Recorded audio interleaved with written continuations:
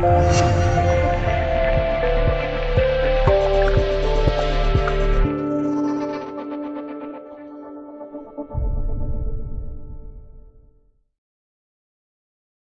国商务部长罗斯星期四宣布，六月一日起开征来自加拿大、墨西哥和欧盟的钢铝产品百分之二十五和百分之十的关税。美国的对外贸易冲突正式开辟了其他战场，尤其是欧洲战场。欧盟委员会主席容克当天表示，欧盟将对美国的这一决定采取报复行动。五月三十一日，美国商务部长罗斯又。与法国财长勒梅尔在巴黎会晤后，宣布不再豁免欧盟的钢铝关税。不过，欧盟很难对美国的贸易攻击开展坚决的对等反制，以战促谈。虽然欧盟委员会之前曾表示可能会对二十八亿欧元的美国商品对等征收关税，但欧盟是否真会迅速对美以牙还牙，令人怀疑。从特朗普政府今年二月宣布加征钢铝关税计划后，欧盟第一时间就站到了申请豁免的队伍里。很多欧盟国家至今沉浸在美国没有把他们作为盟友加以照顾的委屈中，那里显然没有凝聚起为捍卫多边贸易体系、坚决与美蛮横做法进行斗争的意志。然而，特朗普民粹主义贸易政策的这一劫，欧洲注定是躲不过的。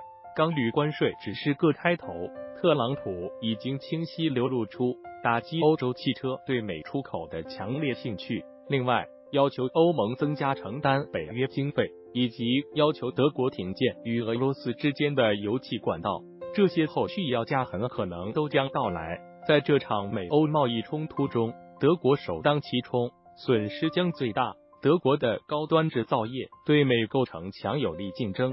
特朗普很不喜欢让德国的大公司都吃些苦头，可谓是渗透进美国关税计划当中的特朗普团队的一种情绪。其实欧洲眼下没有退路，德国尤其没有，他们需要勇敢地面对美国贸易大棒，举起他们自己的棍子，不战就不会有公正的和，把希望寄托在华盛顿发善心上。欧盟国家只能任美国人随意宰割。我们知道，欧美关系与中美关系不同，欧美打贸易战与中美打贸易战的政治含义也不一样。因此，几乎没有中国人认为中欧联合对抗美国是现实的。我们注意到，欧盟对美国向中国知识产权保护、市场准入等方面的施压是乐见其成的。中美欧的贸易利益错综复杂，很难拉出一个清晰的阵线。然而，特朗普政府根本不把 WTO 规则当回事，以及他搞贸易保护的霸权主义做法，欧洲和中国都是反对的。世界其他主要经济体如果不对华盛顿的嚣张气焰进行阻击，那么大家都将是受害者。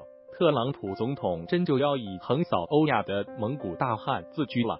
中欧未必可以在对美问题上开展协作，但是双方应该做出各自应有的坚持。不对美国做没有原则的让步，纵容特朗普不是寻求与世界更加有效的合作，而是搞攻城略地的征服。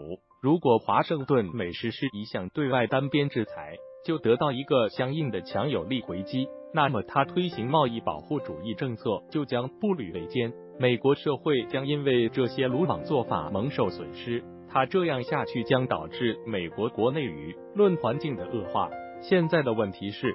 迄今，只有中国实施了针锋相对的措施和计划，将他们作为与华盛顿谈判的筹码。世界其他地方大多都挤在了向特朗普申请豁免的队伍中。美国已经退出伊核协议，并且要求欧洲企业尽早离开伊朗。